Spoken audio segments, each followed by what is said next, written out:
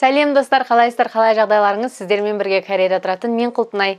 Бүгін біз мен бүгін бейнежазбаны сіздерге үйде отырып түсіріп отырмын. Неге үйдемін? Себебі біз қазір баламыз екеуміз үйде қамауда отырмыз. Бұны не үшін қамауда отырғанымызды сәлден кейін түсіндіре жатармын. Ең алдымен бейнежазбаның бастамасын қазақстандағы соңғы уақытта болып жатқан оқиғаларға байланысты кореяның жаңалықтарында не деп жатыр? Кәрістер не айтып жатыр? Және соңғы оқиғалардан бұлар қандай ой түйіп жатыр? Осы жайында сіздерге айта кететін болсам әрине біз қазіргі қазақстанның соңғы оқиғаларын болып жатқан жағдайларды ең алдымен инстаграмнан көрдім деп айта аламын мен. Себебі газдың бағасы қымбаттауына байланысты маңғыстауда көтеріліс басталыпты. Осы бір нәрсені көрдік. Одан кейін ертеңіне ұйқымыздан тұрған кезде әдетте біз барлығымыз теледидарды қосып жаңалықтан көруден бастаймыз ғой. Жаңалық көріп бастаған кезімізде жаңалықты қосқан кезде қазақстан жайлы айтып жатыр екен. И оны көрген кезде менің төбемнен біреу мұздай су құйғандай әсерде болдым. Мен оншалықты деп ойлаған жоқпын бірақ ананы көрген кезде кәдімгідей айта алмаймын қандай сезімде болғанды қазірдің өзінде қолдарым дірілдеп отыр. Ол кез айтсам қазақстан жайында кореяның жаңалықтарынан көру бір басқаша сезімде екен. Әрине ең бірінші жаңалықтарында біздің өзіміздің кәрістердің кәрістерден адам шығыны жоқ. Самолетпен келген кәрістер бірінші кезде подвалда жатты кейін шығарып алдық деген сияқты өздерінің жаңалықтарын айтты да одан кейін алаңда болып жатқан оқиғаларды көрсетті. Ана алаңда болып жатқан оқиғаларды көрген кезде мен әлі күнге дейін ойласам аяқтарыма дейін дірілдеп кетеді. Өте қатты қорықтық. Дәл осы жаңалықтардан кейін кореядағы менің таныстарым кәрістер маған хабарласа бастады. Үйің аман есен ба отбасың жақсы ма қазақстан жағдайы қалай тыныштық па? деген сияқты. Осындай бір звоноктарды алған сайын одан бетер уайымдай бастап мамаларға звондап әпке сіңлілеріме звондасам ешқайсысы телефонды алмайды. Кәдімгідей уайымдап әрбір группаға жазамыз. Ешкім оқымайды ешкім. Кейін телеграмдағы группаларды қарасақ интернеттің бәрін өшіріп тастаған екен. Ә, телефонмен звондай алмаймыз. Кейін әрине түрлі көмегімен анамызға хабарласып әпкемізге хабарласып амандықтарын білгенімізбен ініміз әскерде болғаннан кейін одан бетер уайымдау басталды. Өйткені қарапайым әскерлер де шығып жатыр екен дегенді естіген кезде бәрібір адам баласымыз ғой. Ініміз әскерде болғандықтан інімізден ешқандай хабар болмағандықтан өте қатты уайымдадық. Сол кездегі сезімді айта алмаймын қалай уайымдағанымызды. Кейін барлық жаңалықтар интернет болмағандықтан жаңалықтарды көре алмағандықтан кәрістердің жаңалығынан қашан көре бересің? Ол жерде айтатын айтады айтпайтын айтпайды. Сонымен телеграмдағы түрлі жаңалықтарға кіріп таңертең көзіміз ашқаннан телеграм жаңалықтарында отырып кешке дейін сол жерде отыратын болдық. Көрген сайын оқыған сайын жүрегіміз ауырғаннан басқа еш нәрсе істей алмадық. Дәл осы кезде кәрістер де түрлі бірнеше ойларға бірнеше пікірлерге бөліне бастады. Қазір мен бірнеше комментарийларды оқып көрсетемін. Бұл жерде әрине комментарийлар өте көп. Мен көзіме іліккен бір екеуін оқып көрейін және сіздерге салып қоямын. Төрт жыл бұрын қазақстанда болғанмын. Сол кезде қай бір қазаққа да қазақстан жайында жаман нәрсе айтып қалсаң прямо ұрып тастайтындай барлығы намысшыл еді. Шыдамның да шегі бар ғой деп көп нүкте жазып қойған біреу бар. Тағы біреуі қазақстанның жері үлкен ғой көп нүкте. Сол жер біздің кореяда болса осы үлкен жердің елу бес пайызы жүз алпыс бес адамның қолында сұрақ белгісі. Тағы біреуі қазақстан тәуелсіз ел ғой бірақ көмекті россиядан сұрайды тағы да сұрақ белгісі. Және әрине қалған комментарийлардың көбісі қолдау ретінде. Адам шығыны болмаса екен бұл көтерілістің нәтижесі тек қана жақсы болса екен деген қолдаулар көп болған екен. Және де қолдау демекші шет елде тұратын бүкіл қазақтар қазақстан елшілігінің алдына ерікті көтеріліс деп айтайыншы митингтерге шықты.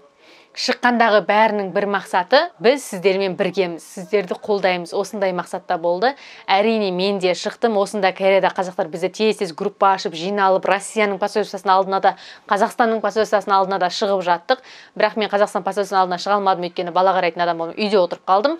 Ал россия посольствосының алдына шықтық. Сол кездегі менің кейін қазақстан елшілігінің алдына шыққан қазақтарды көрген кезде кәдімгідей бір көңілім көтеріліп қалды деп айта аламын. Себебі жасың демей кәрің демей жігітің демей қызың демей тіпті кішкентай балаларға дейін барлық қазақстан елшілігінің алдына шығып біз сіздерді қолдаймыз біз сіздермен біргеміз деген плакаттарын ұстап тұрған кезде кәдімгі жүрегімде бір патриоттық сезім оянады деп айтайыншы иә.